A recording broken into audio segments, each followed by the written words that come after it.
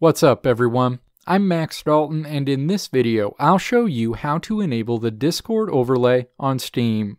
Discord makes it easy to build and interact with a community of people. Whether you make content that is gaming focused and you want to easily interact with your Discord community while playing a game, or you just want to be able to more easily stay on top of the Discord servers you're involved with while you game, the Discord overlay will help you do that.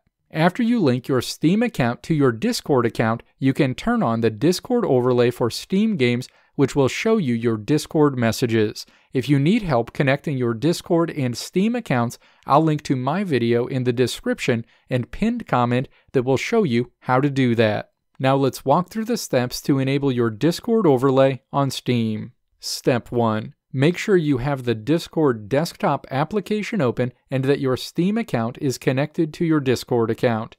If you need help connecting your Steam account to your Discord account, I'll link to my video in the description that will show you how to do that. Step 2. Click the settings icon in the lower left corner of your Discord home screen. Your Discord settings screen is displayed.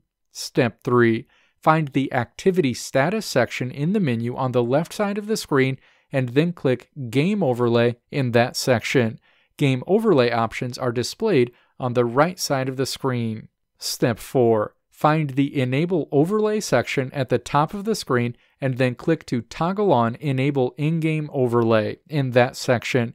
Additionally, check the Toggle Overlay Lock section next to that to see what the shortcut keys are for you to quickly turn the Discord overlay on and off on Steam.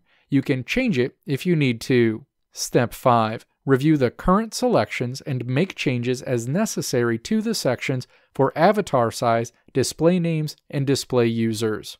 Step 6. Scroll down to the Overlay Notification section and then click to highlight the corner of the screen where you want your Discord overlay to display your notifications on your Steam games. Step 7. Now, click Activity Status in the Activity Settings section in the menu on the left side of the screen activity status options are shown on the right side of the screen. You'll see a list of games on this screen associated with your connected Steam account. Step 8. Find the Steam game you want to show the Discord overlay on, and then find the icon featuring the computer monitor next to it. Click that icon to remove the line that's going through it, which will enable your Discord overlay for that Steam game.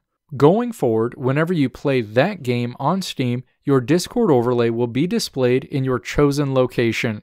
Let me know if this video helped you out in the comments below. If you liked what you saw here, click the video links on the right side of the screen to check out another video. Or click the logo on the left side of the screen to check out my tutorial website at www.maxdalton.how.